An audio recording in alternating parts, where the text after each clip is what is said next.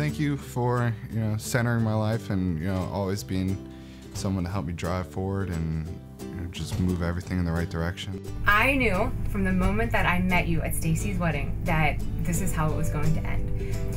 You are my prince, and you have made all of my fairy tale wishes come true.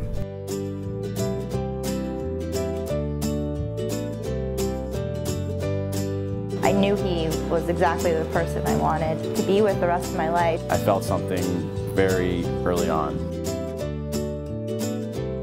I'm ready for forever. I love you. I love you and I can't wait to spend the rest of my life with you.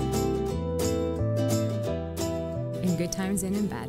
In sickness and in health, I will love you and honor you. all the days of my life.